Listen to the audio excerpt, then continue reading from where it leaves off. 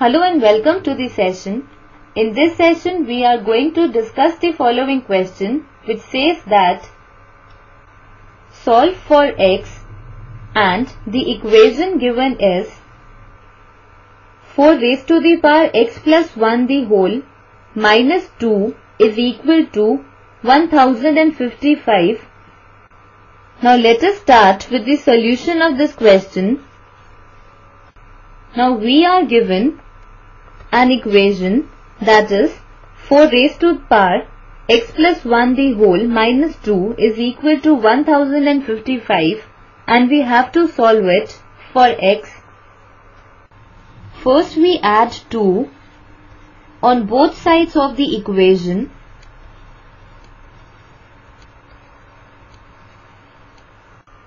and we get 4 raised to power x plus 1 the whole minus of 2 plus 2 is equal to 1055 plus 2 which implies that 4 raised to power x plus 1 the whole is equal to 1057. Next, taking common logarithm on both sides of the equation, we get log of 4 raised to power x plus 1 the whole is equal to log of 1057. We know that log of m raised to power n to the base b is equal to n into log of m to the base b. Now using this property here, we get x plus 1 the whole into log of 4 is equal to log of 1057. Further, we divide by log of 4 on both sides of the equation and we get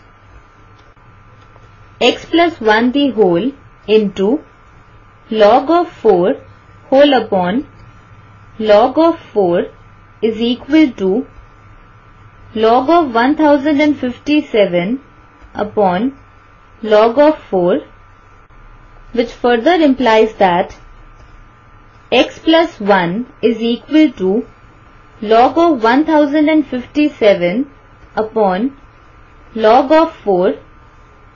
Now by using calculator we get the value of log of 1057 as 3.02 and the value of log 4 as 0.60 which implies that x plus 1 is equal to 3.02 upon 0.60. Now, it further implies that x plus 1 is equal to now dividing 3.02 by 0.60 we get 5.03. On simplifying further we get x is equal to 5.03 minus of 1 which further implies that x is equal to 4.03. Therefore, we get the value of x as 4.03 which is the required answer. This completes our session. Hope you enjoyed this session.